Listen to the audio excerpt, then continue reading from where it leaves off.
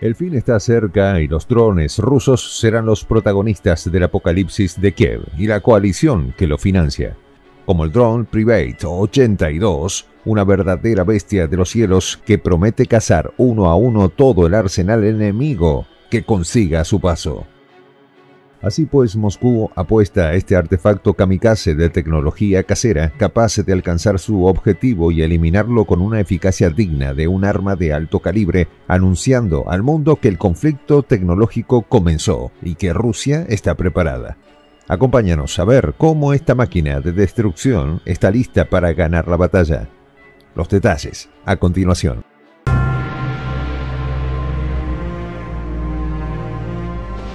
Voz de la Patria Grande.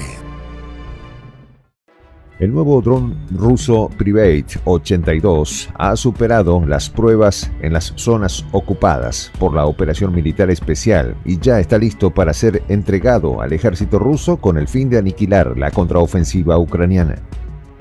Este avión no tripulado es capaz de efectuar reconocimientos, corregir fuego de artillería, atacar posiciones enemigas y hasta socavar vehículos blindados, haciéndolo un arma versátil lista para responder a las necesidades en el frente.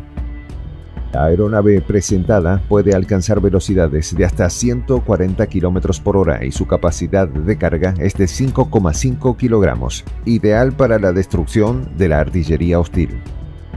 Por otro lado, este dron kamikaze tiene un alcance de vuelo de hasta 30 kilómetros y su lanzamiento se puede llevar a cabo a 15 o 20 kilómetros de la línea de contacto desde una plataforma de lanzamiento donde se disparan varias unidades al mismo tiempo. Según Vadim Cernov, presidente de la empresa KB OCO, que diseñó el dron, el Private 82 se situará en centros de retaguardia unificados antes de volar a la línea del frente y se espera que sea asignado a una sola unidad militar para su uso. Además, Cernov agregó lo siguiente, una de las ventajas de este dron es que sigue su ruta en completo silencio de radio, no emite nada, incluso viaja con el transmisor de video apagado para que no sea interceptado, agregó el experto militar. En cuanto al manejo del equipo volador, el fabricante aseguró que puede operarse de dos maneras. En primer lugar, si hay un solo operador se lanzarán los drones uno por uno, pero si hay varios operadores es posible organizar ataques coordinados a muchos objetivos y al mismo tiempo. Esto lo logra gracias a su largo alcance, que al lanzarse desde una parte trasera segura, evita su almacenamiento y el de las catapultas en el frente. Solo basta un panel de control, unas gafas y un operador que dirija el dron hacia el blanco escogido.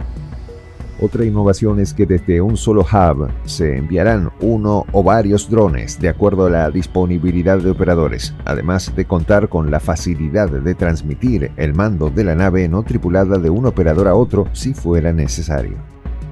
Por todo lo anterior pareciera que estamos ante un dispositivo multifuncional, pero a la vez costoso. ¿Lo es? Te asombrará el siguiente dato. Un poco menos de mil euros es el precio de fabricación del Private 82, toda una ganga en comparación con sus pares estadounidenses que llegan a costar hasta 100 mil dólares. Incluso su valor compite con los aviones no tripulados iraníes que han ayudado a las fuerzas rusas a barrer con las instalaciones estratégicas militares de Ucrania, contando ya con más de 400 unidades vendidas a Moscú. Hasta el momento una decena de drones Private 82 forman parte del inventario de armas ruso, tal y como lo informó la empresa fabricante, que resaltó que mantiene comunicación directa con todas las unidades para monitorear su desempeño. De acuerdo a un informe de la agencia de noticias TASS, este kamikaze ya probó su capacidad de fuego al golpear un bastión del ejército ucraniano localizado en zonas de las repúblicas separatistas. Esto ocurrió en mayo de este año, cuando se instaló una plataforma de lanzamiento a unos 12 kilómetros del objetivo, logrando quebrar algunas instalaciones bélicas enemigas, equipos y hasta edificios. Justo a esta demostración, este vehículo aéreo recibió el visto bueno de los batallones de las formaciones de combate táctico operativo East y Cascade, la Guardia Rusa y otras empresas militares privadas que esperan recibir en los próximos días su primer dotación de drones.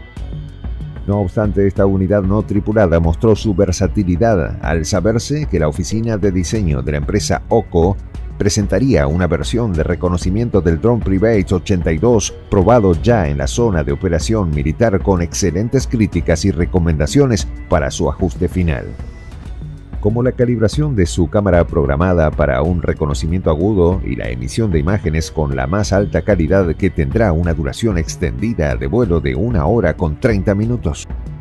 Así pues, esta nueva generación de drones se agrupa con otras abejas mecánicas rusas como la nave no tripulada Kub-Bla, oriunda de la marca Kalashnikov, con 3 kilos de explosivos y una capacidad de vuelo de 130 kilómetros por hora a una distancia de 40 kilómetros. Acompañado de una metralleta en su cabecera para causar el mayor daño posible al organismo del personal enemigo, como ya lo probaron en el frente eliminando a fuerzas ucranianas desde el inicio del conflicto. De esta manera, el Gran Oso muestra la letalidad de sus equipos aéreos de última generación, dotados de la inteligencia artificial suficiente para ocasionar fuertes daños al bando en conflicto y provocar terror psicológico a través de ataques individuales o masivos. Y es cierto, Ucrania cuenta con los sistemas antimisiles estadounidenses Patriots, con una eficacia probada, pero exageradamente costosos para el tipo de enfrentamiento que se realiza en el conflicto ucraniano sobre todo porque no están hechos para responder a la embestida de un enjambre de drones y mini drones del lado ruso. Tan solo una prueba de intercepción de los Patriots, una sola, tiene un valor de 100 millones de dólares, dinero suficiente para que Moscú fabrique unos 100.000 drones listos para ponerle a Kiev las cosas color de hormiga. Y ya lo están haciendo, porque esta semana Moscú lanzó una respuesta a la contraofensiva ucraniana con una oleada de drones sobre la zona de Leópolis, al oeste del país, que dejaron serios daños e infligieron la estructura del ejército rebelde. Estas victorias logradas gracias a la vanguardia en tecnología bélica han acercado cada día más a la Federación al pedestal de la victoria, sudada, sufrida y bien merecida. ¿Y tú? ¿Crees que los drones rusos darán la estocada final al régimen ucraniano? Soy el J, Juan José del Castillo, director del canal Prensa Alternativa. Si quieres ser parte de la comunidad de la Patria Grande, suscríbete a nuestro canal. Si es que quieres que te lleguen las notificaciones cada vez que subimos un video, activa la campanita. Si quieres apoyar a nuestro canal económicamente, puedes hacerlo a través de PayPal. El enlace está en la descripción del video. A nombre del equipo de prensa alternativa, me despido con esta expresión en el quechua milenario, Tupananchis Kama, cuya traducción es hasta volvernos a encontrar.